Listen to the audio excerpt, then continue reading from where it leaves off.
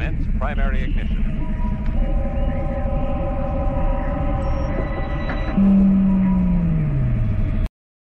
Welcome to Unlimited Power. My name is D Rod, and here's my guide to playing Rey, at your Shadows of the Galaxies pre release for Star Wars Unlimited, the trading card game. Now, if this is one of your first times watching uh, one of my guides, I always want to start off by saying the goal here is to focus on some of the commons and uncommons cards within the set that can really um, fill out your deck and aid your leader based on their abilities and their colors. Yes, there are going to be some rares and legendaries that are standout cards with this um, specific leader and colors, but your chances of getting those out of six packs in your pre release box can be very slim. So we want to focus on the cards that are easily obtainable to help you, eh, like I said, fill out your deck a bit. Let's begin by looking at Rey as a leader and a leader unit and see what she brings to the table. As a leader, Rey has an action that you can exhaust her and pay one. Very important. We're going to have to pay attention to the one resource here. To give an experience token to a unit with two or less power. Okay. So as long as the unit has two or less power, you can put an experience token and raise it up to three. Once the unit has more power than that, you'll have to stop. Power is going to be um, can vary based on upgrades and abilities, so be mindful of the cards and their printed cost and any abilities that may change the card's uh, power going forward. Cards like Grit may change certain things about the card's power, or once you equip a card with a certain upgrade, it may change it, making it immune from Rey. So it's important to kind of use this action first before you do anything else with the card. So keeping one open when you deploy a card will be very helpful. If you uh, play Luke from the first set, you'll be very familiar with this type of playstyle. Now, as an epic action, you can deploy Rey when you have six or more resources. This means she can come into play as early as turn five. She's a 2 6 unit. So, as a 2 6, you can definitely use her ability um, that we can see here that says on attack, you can give an experience token to a unit with two or less power, and you can raise her to a 3 6. Or, sorry, 3, three 7. So once you do raise her experience, this is when you can start equipping her with other cards or putting other types of experience tokens on her. She also has the Restore 3 ability, which is going to be really strong for a unit that comes out on turn 5. You can be aggressive with a unit like Rey. You can swing, swing, swing with all your units to the base and deploy Rey and have Rey kind of restore your health back.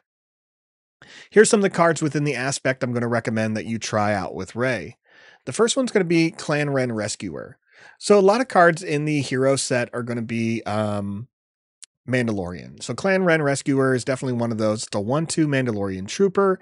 You can put this out and upgrade it with Rey, which will be good. And when you play it, you can give an experience token to a unit. So if you play this on turn one, you can go ahead and give it to yourself if you want and make the Clan Rescuer 2 3, or put it on some other unit and then upgrade the Rescuer with Rey. Next is Concord Dawn Interceptors, a three cost unit that's a 1 4. A 1 4 means you can use Rey's ability twice on it before it is um, no longer a target. The great thing about this card, it's Sentinel. So your opponents are definitely going to feel the damage from the Dawn Interceptors. And when he gets a plus two when it's defending. So imagine bumping this up to three, uh, six. And then when your opponents attack it, it's actually a five, six. Very dangerous. Last in these colors is the Village Protectors. Another common card in this set is a 2 2 with Sentinel and Shield. So not only does it have the Sentinel ability, it can protect itself with that shield. And you can finally take this character art that has three, three people on it and give it three power. I think that'll be really strong. In the command aspect, we're going to look at cards like Outflank. Outflank's a great one that we've seen in named Rebel Assault or in Leia's ability from Spark Rebellion. We know that Outflank is really good with aggressive decks because it allows you to attack with units before your opponent can respond and trade into them.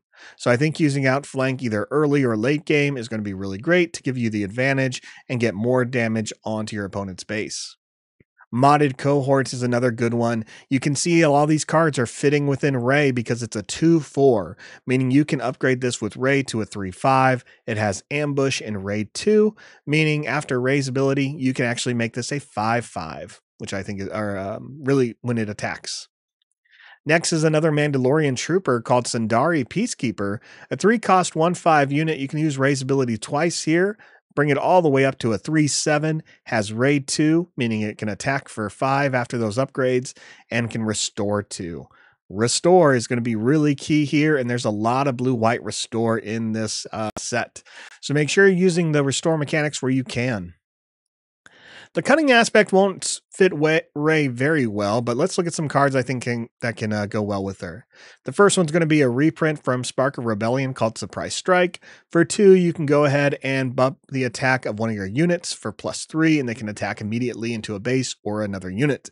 This is a great one to use against the base because that plus three can easily give six to seven points of damage onto opponent's base, depending on who you choose. And again, you're keeping that pressure and tempo up with your units. With Rey being a uh, easy character to deploy, you um, unless you get like a big bomb uh, that's a rare legendary, you can really focus on low cost units in events like this. Cartel Turncoat definitely fits that. It's a 2 3 1 drop that you can use Rey's ability on the first turn you play it. Um, so I think that's going to be beneficial. And then L337 from the solo movie is a 2 drop 2 2 that says when played, you may rescue a captured card, and if you don't, give a shield token to this unit. So it can kind of protect itself, or you can smuggle it away and eventually rescue a captured card if you know your opponent is playing some captured abilities. In the aggression aspect, we're going to recommend a few more Mandalorians. Ketsu Onyo is going to be that. She is actually above the um, threshold for Rey as a 3 2 with Saboteur, but her value is super strong. She's a low cost unit that comes out uh, with two resources, and when they deal combat damage to a base, you may de- defeat an upgrade that costs two or less. These upgrades can be experience tokens, shield tokens, and any other printed cards that meet that value. House Kast Soldier, however, does fit Rey's um, criteria, has Saboteur as well, and it's a 2 3 Mandalorian Trooper, so a good one to just kind of get around all those Sentinel units and continue to put pressure on your opponent's base. And lastly is Detention Block Rescue for the aggression aspect. A 3 cost event that deals 3 damage to a unit and if the unit happens to be guarding any captured cards, it's six damage instead. This type of card can really um, do a lot of work for you and add a common slot. Hopefully, you can see at least two of these in your set. Speaking of common events, the best one in the game so far is definitely Rivals Fall, a six cost event that is, has the ability to defeat any unit in play, whether it's space, ground, or a leader. This card is going to be great and definitely one you're going to hope to have one or two of, especially because you are playing blue. Um, it'll be a great one to add. The next one is follower of the follower of the way. Follower of the way is really good because it's a one three card that costs two, and once you use Rey's ability on it, it immediately gets a plus one plus one upgrade itself. So it kind of puts itself up uh, quicker. So one upgrade token makes it a two four, but because it's upgraded, it immediately becomes a three five. So it's no longer an active card you can use with Rey, but it immediately jumps um, an extra power. And last for vigilance is Moisture Farmer, a 0 4 1 cost unit. This is a great one to put out turn one because it has Restore 2, and you can use Rey's abilities twice on here to bring it up to a 1 5 and then a 2 6. This is going to be a tough one for your opponents to deal with with that type of uh, health. So definitely recommend throwing a couple of these in your deck um, because it's going to force your opponents to deal with them because that Restore mechanic is definitely going to be a pain. In the hero aspect, let's look at Wookiee Warrior, a two cost unit with, uh, or four cost unit with that's a two five with grit. This is a unit you want to use Rey's ability on before it takes damage. By putting the ability on it first, it becomes a 3 6 because as soon as it takes damage, that grit is going to raise how much damage it does. Um, it's going to raise its power and it will be immune or won't be a target for uh, Rey's ability. So important to put Rey's ability on it first before it takes any damage. And if you happen to control another Wookiee, draw draw a card. Next is going to be Gray Squadron Y Wing. I think this card's going to be amazing. I love cards like this. It's a two drop space unit. That's a 1 3, so you can um, bump it up twice there. And on attack, you force the opponent to either choose a unit or base, and they have to deal two damage to that unit they control. Love cards like this because it throws your opponent off their game a little bit, makes them do the mental math, and just puts them on tilt. Next is going to be a Mandalorian with that's Protector of the Throne. It's a three cost, two four, and when it's upgraded, it gains Sentinel. So when you play this card, if once you use Rey's ability on it, you'll upgrade the unit with a experience token upgrade, and then it has Sentinel and is a three four. So I think this is a good one. And in the non aspect cards, we're going to recommend a Rich Reward, which also allows you to put uh, experience tokens on up to two units.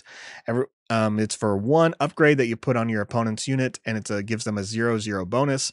So it's kind of a good one to kind of keep making cards like Rey stronger. Pretty much, you want to put this on cards that have already passed um, their three costs, or sorry, their three power, that they're no longer targets for Rey for. Just kind of keep building on these units. One card card's going to help you do that is the Mandalorian Warrior. It's a three cost unit that's a 3 3, and you may give an experience token to another Mandalorian unit.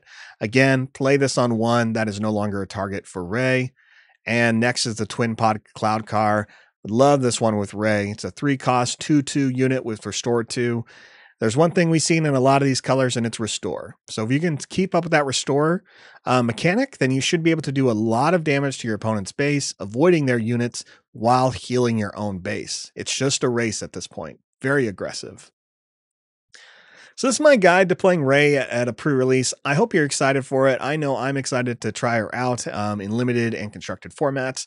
Let me know how it goes at your local pre-release or sealed event in the comments below. What rares and legendaries did you get that worked well for for Rey? And were any of these cards um, really ones that you had fun playing? Thanks a lot for watching. Best of luck, and may the force be with you.